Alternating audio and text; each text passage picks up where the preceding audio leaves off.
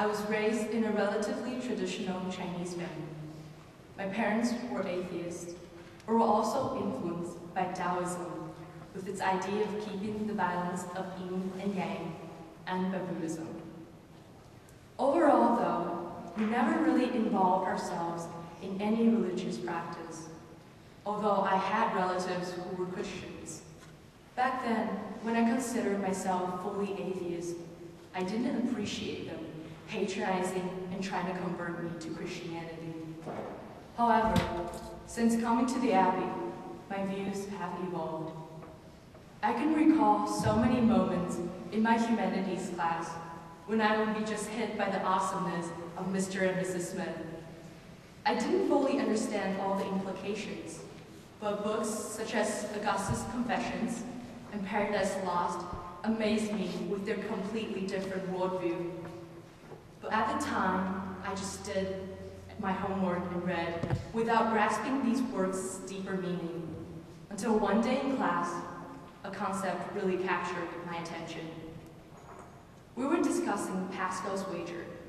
For the very first time, all these complicated ideas became so clear to me.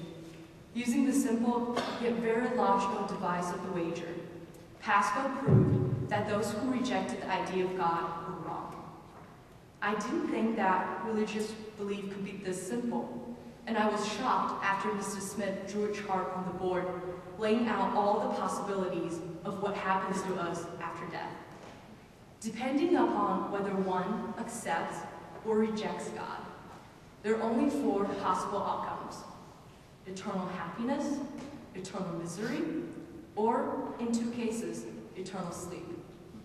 I know that, in reality, there are probably more options, but the two choices, believe or unbelieve, and the four outcomes, were enough to prove Pascal's point for me. If I chose to ignore religion and not to believe in God, I would either end up in eternal misery if God existed, or simply sleeping forever while my body rotted in the ground if God did not exist.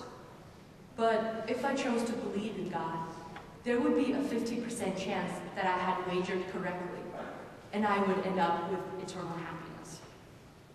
This epiphany faded after class, but it never went away. I remember being in Miss Thomas' class and reading C.S. Lewis. I wondered how it was possible for Lewis, an atheist, to suddenly change his beliefs and become a Christian. I didn't like how he especially pointed out his previous belief and how different he had become since then. But I was wrong. C.S. Lewis did not convert all of a sudden. He gradually came to adopt and accept the idea of Christianity. His thinking changed over time, and then his life changed. And after three years here at the Abbey, I've changed too. I'm now fully Catholic, but I believe in God. I pray before I go to bed.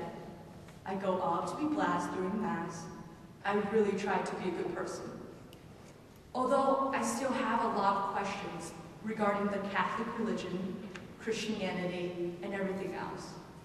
I am so glad that I really opened my mind and changed my views.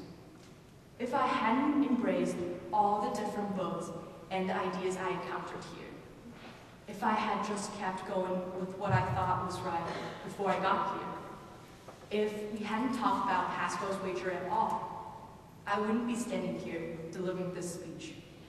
Was I terrified when I realized that everything I knew might be wrong? Yes, I was scared. Change is always scary, but I'm more happy than scared. Without these changes, I would be the same person that I was three years ago. Someone unfamiliar with the idea of religion in general. Obviously, I will respect people with different religious beliefs, but I could never have understood how people can be so involved in religious practice, or how people in fact truly believe in what they believe. Here at the Abbey, we're forced to learn about a lot of things, but it is up to each one of us to determine the value of what we learn. Even more important, we must decide whether or not to believe in any of it. when faced with new, different, and even utterly foreign ideas, our tendency is to ignore or dismiss them. But if we take those ideas seriously and embrace that difference, we just might figure out what we think, what we believe, and who we are. Thank you.